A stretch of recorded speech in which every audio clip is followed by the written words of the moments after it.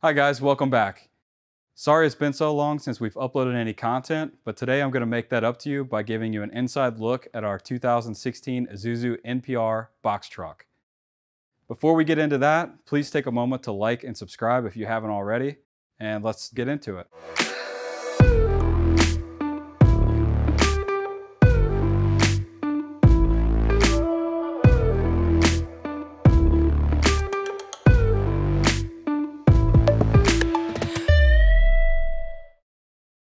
So the first thing you'll notice about this truck, and let me clarify, I probably would not be interested in this setup if it didn't have a lift gate. It's crucial to getting in and out of the truck. So if you're looking or thinking about getting a setup like this, do not exclude the lift gate. You'll regret it later. So the first thing you'll notice when you get into this box truck is everything was built using steel and everything is off the ground because we wanted something that was durable, resistant to elements, and could be removed if need be to go into a different truck if we get one down the road. So all these racks you see here will hold 16 foot material. This is an 18 foot box truck, by the way. We do keep a lot of material up there when we have to. It's nice to have. And the storage down below this lower shelf here is actually for plywood and we can fit an eight foot piece of plywood roughly goes to about here somewhere. Um, I think we can fit 20 five sheets in there, uh, which is plenty. Um, we have this really cool perch mount, uh, which we bought from Perch Tools, and it allows us to hang our nail guns for accessibility. And also you can hang any M18 Milwaukee tools via their battery mount um, upside down here. Next on this same rack, we have a couple of shop vacs. This is where we store them but we also use them for dust collection on this 12-inch um, Milwaukee sliding compound miter saw. You'll see we have two Milwaukee workbenches. We customized the top to add T-track and uh, measuring tape or steel rule. Um, and we also use that in combination with a stop block, which we made for repeatable, accurate cutting in the truck.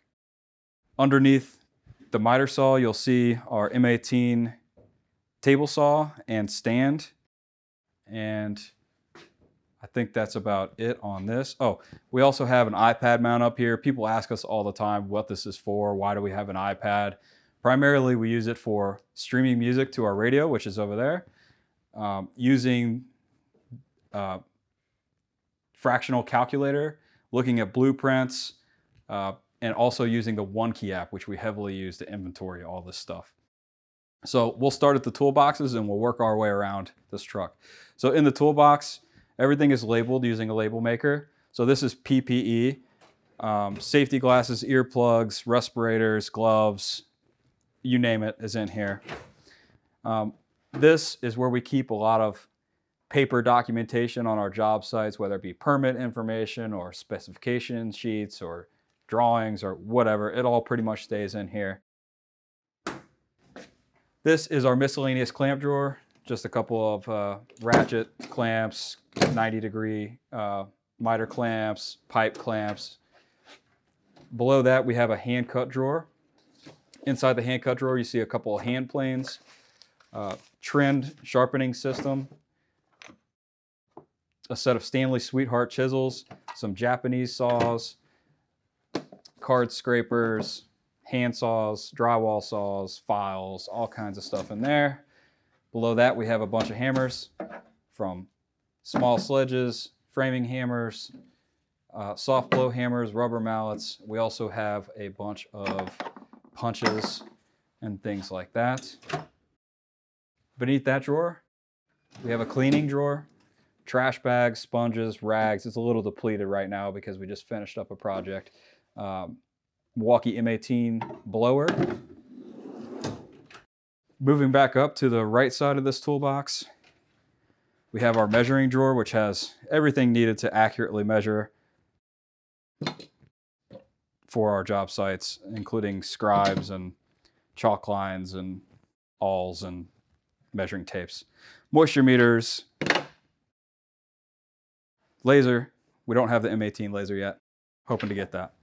Um, the great thing about these toolboxes, I'll just pause real quick. The great thing about these toolboxes is that since this vehicle is mobile, we just simply lock these up and everything here is tied down as you see it every day.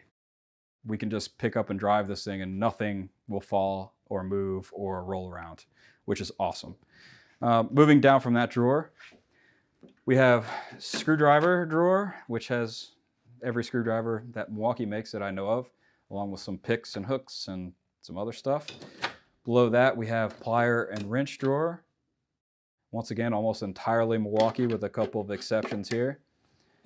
Below that, we have our razor drawer, which has utility knives and scissors, razor blades. Actually, a lot of this is in our shop right now too. Below that, we have our pry bar drawer, inflatable shims, pry bars, scrapers, uh, you name it. Below that, glue and tape.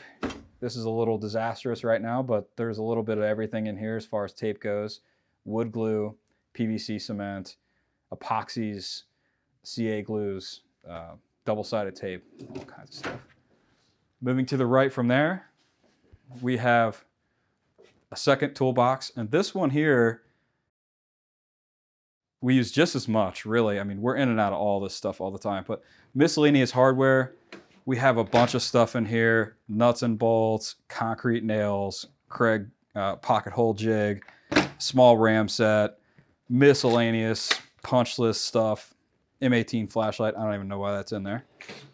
To the right of there, another miscellaneous hardware drawer, structural screws, bolts, or anchors, um, Tapcons, sheet metal screws, washers, nuts, zip ties, and so on. Over here, this is kind of our overflow bulk area.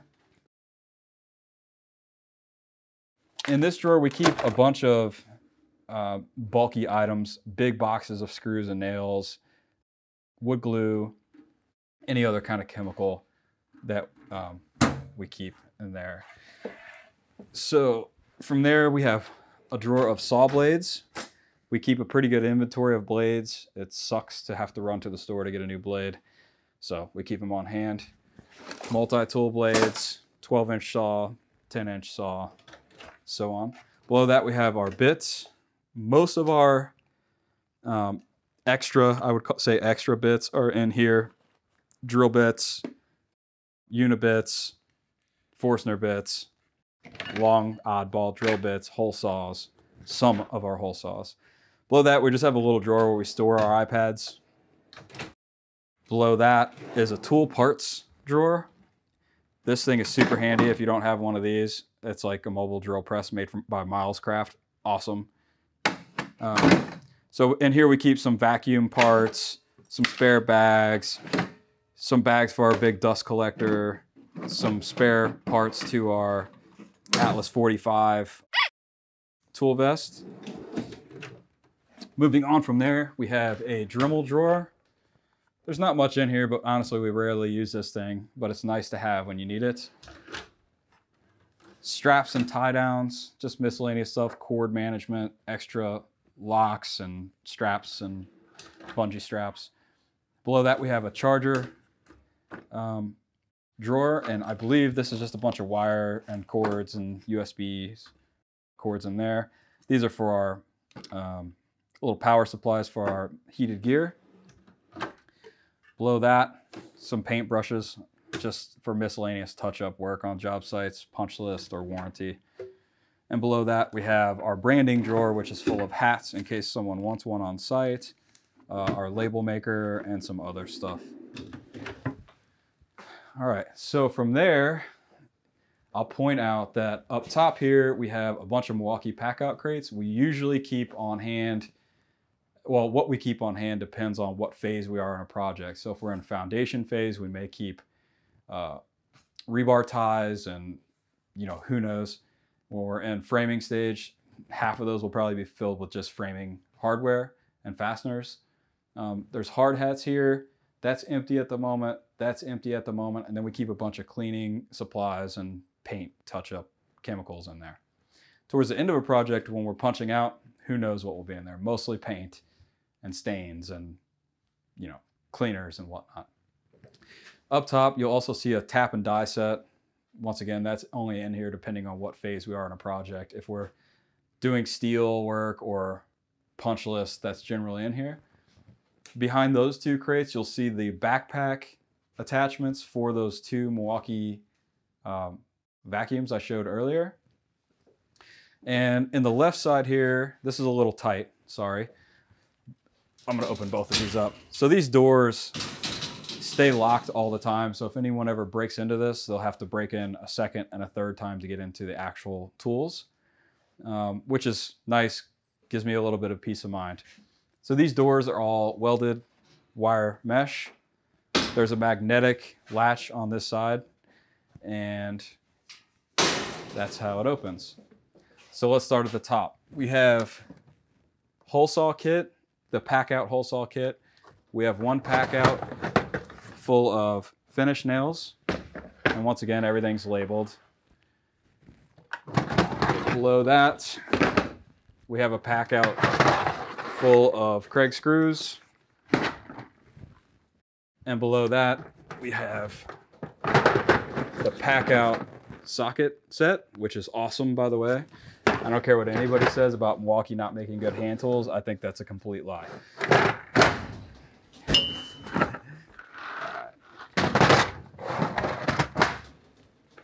All this pack out in this entire uh, security cage here, everything is mounted on actual pack out mounts, which is pretty nice.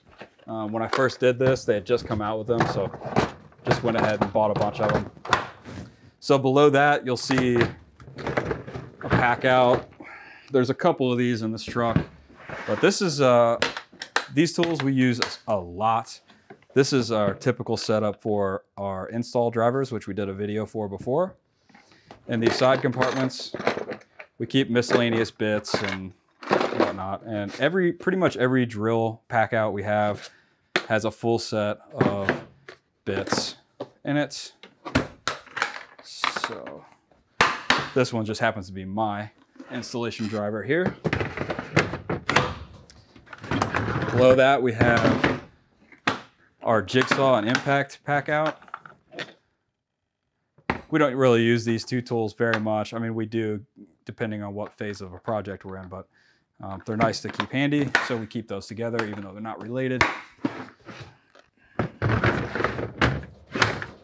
Below that we have our nail and staple pack out. And inside of here, you'll find pretty much every, let's see, we have an M12 stapler, um, M18 brad nail gun, a second M18 brad nail gun, and an M18 staple gun. And, and while I'm, I have this out, I'll just show you real quick how this works. Over here, this perch mount, super handy. We keep these when we're using them generally like this. And if we're gonna go on the road, they are safe to mount like this. They will not come off. Um, no promises. They haven't come off for us. so that's how we keep those uh, while in transit if we don't want to spend the time to pack up this whole truck back to its original condition here. So that's that.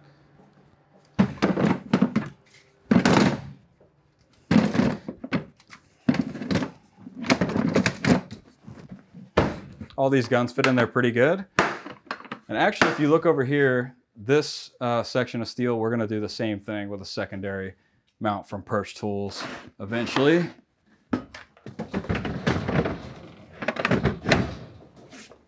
Below that, I'm not gonna get this out because it's heavy as hell, but we have one pack out dedicated to nothing but framing nails and one pack out full of framing nailers. I think we have two in there with the extended magazines. Moving to the right and back up again, we have more pack out organizers with screws, more screws. We have an M18 router pack out, which is pretty simple. It's pretty uh, light box here, but just some common router bits, a little uh, trim router, and all the accessories to it.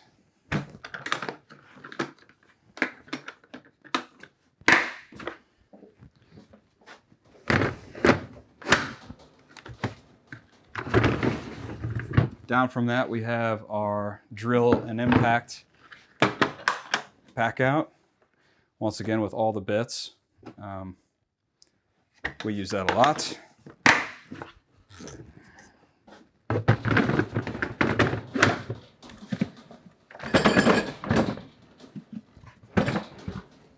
Down from that, we have our SDS. I believe this is the inch and 9 sixteenths.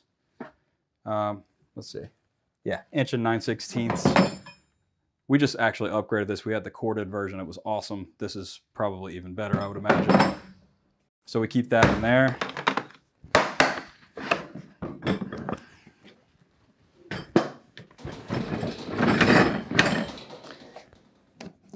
Down from that, we have our miscellaneous power tool pack out. And inside of there, I don't really know what's in there. The new M18 fuel oscillating tool. And if you haven't gotten this yet and you have the old version, get it. This thing's awesome. We have a Sawzall M18 heat gun and a caulk gun. Kind of have some mixed feelings about the caulk gun, to be honest with you. It's a love-hate relationship.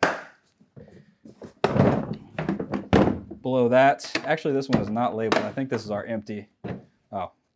Well, it looks like it used to be empty, but someone left some stuff in there. We have some wipe-on poly and some spilled uh, mineral spirits that smells like. Clean that out later. Oops.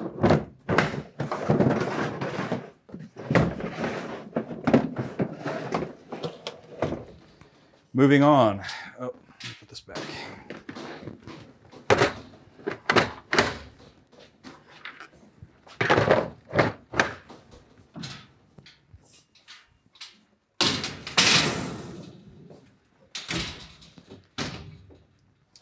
On this side, we have a pack out organizer filled with 18 gauge nails. We use this in the trim phase of a project. This is our go-to. It's on hand at all times.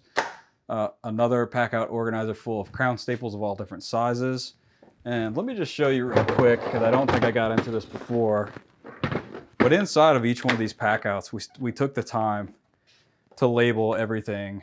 Um, that way we know what what we have, what's in the organized bin, and what we're running low on. So.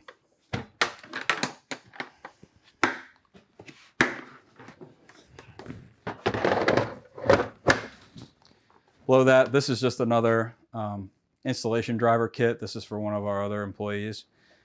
M18 radio, awesome, by the way. Uh, our sanding pack out, this one. So in here we keep all kinds of stuff. A bunch of sandpaper, uh, sanding disc for the oscillating tool, which is a great tool to sand with. Sanding blocks, sanding sticks, belts, foam sanding pads, um, you name it, and a couple of M18 sanders.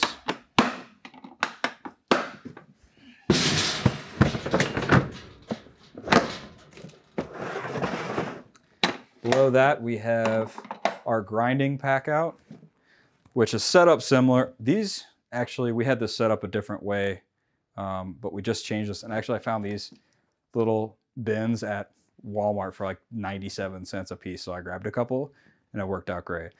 So flap disc, power carving disc, um, handles for the grinder, high speed sanding disc. What else is in here? Um, yeah, M18 grinder, M12 right angle die grinder, bunch of cutoff disc, and that's pretty much it in there. And below that, we have our circular saw pack out. Uh, we have the M18 fuel. I think this is, what is it, seven and a half? This thing's pretty awesome. Lightweight, use the hell out of that. And then we have the Beast down here, which we've used considerably too, the uh, seven and a quarter rear handle. This thing is badass if you do any kind of uh, framing work or even work with plywood and stuff on site. This thing's a beast.